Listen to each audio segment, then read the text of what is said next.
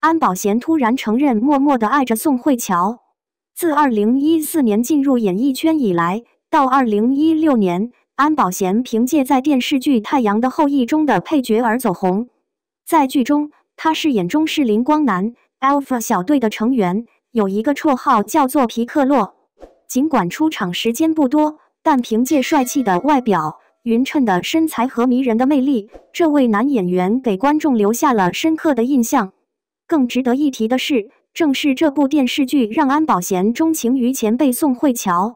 在一档广播节目中，安保贤曾经承认他在与宋慧乔合作《太阳的后裔》时非常喜欢她。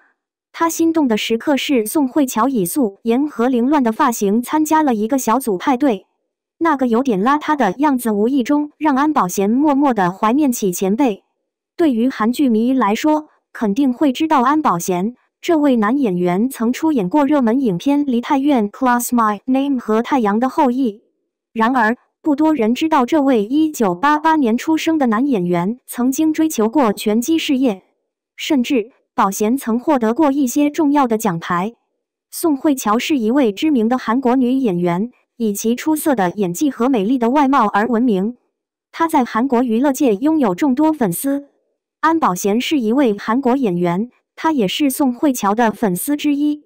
据报道，安保贤曾对宋慧乔产生了爱慕之情，他被宋慧乔的才华和魅力所吸引，对她展开了追求。